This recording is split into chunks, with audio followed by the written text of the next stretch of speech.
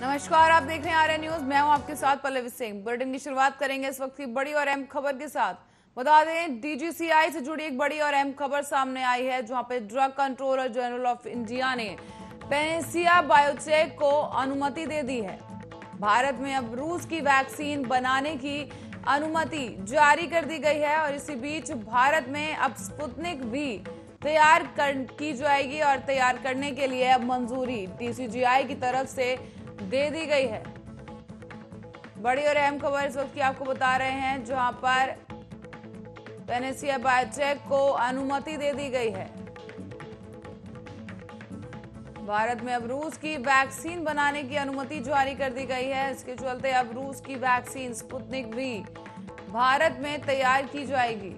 भारत में स्पुतनिक भी तैयार किए जाने की मंजूरी मिल चुकी है। बता दें, बड़ी और अहम खबर इस वक्त की सामने आ रही है। भारत के पास जल्द ही स्पुतनिक वी की भी खेप तैयार हो जाएगी और इसी बीच तेज़ी के साथ टीकाकरण अभियान को आगे बढ़ाया जाएगा।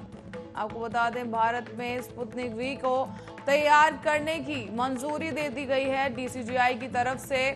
और इसी के साथ ही ये बड़ी और अहम खबर इस वक्त की आपको बता रहे हैं, जहाँ पेनेसिया बायोटेक को अनुमति दे दी गई है भारत में और अब इसके साथ ही अब भारत में रूस की वैक्सीन बनाने की अनुमति डीसीजीआई ने जारी कर दी है।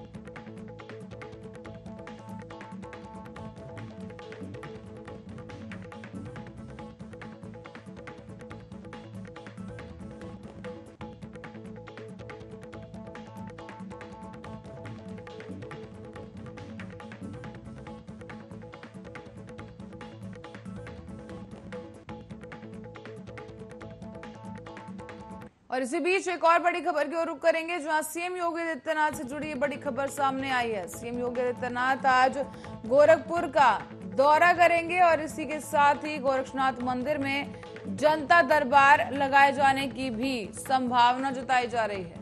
बड़ी और अहम खबर इस वक्त की आपको बता रहे हैं, गोरक्षनाथ मंदिर में लग सकता है आज जनता दरबार। मंदिर के बाद सीएम योगी आदित्यनाथ जाएँगे खोराबार खोराबार स्थित तरकुलानी रेगुलेटर का भी करेंगे शुभारंभ।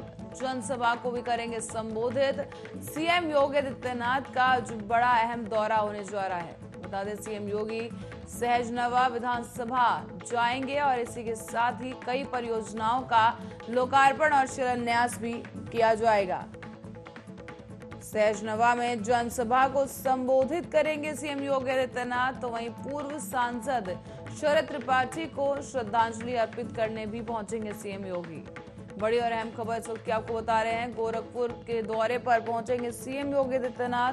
तो वहीं गोरखपीठ मंदिर में जनता दरबार लगाए जाने की भी संभावना जताई जा रही है। इसी के साथ ही सीएम योगी आज गोरखपुर का दौरा करने पहुँचेंगे। काफ़ी अहम दौरा माना जा रहा है और इसी के साथ ही जनता दरबार लगाए जाने की भी संभावना जताई जा रही है। मंदिर दर्शन के बाद सीएम योगी आदित्यनाथ जाएँगे खोराबार खोराबार का दौरा भी सीएम योगी का काफ़ी अहम बताया जा रहा है, जहाँ खोराबार के तरकुलानी रेगुलेटर का शुभारंभ करेंगे सीएम योगी। इसी के साथ ही कई योजनाओं, परियोजनाओं का शिलान्यास और लोकार्पण किया जाएगा।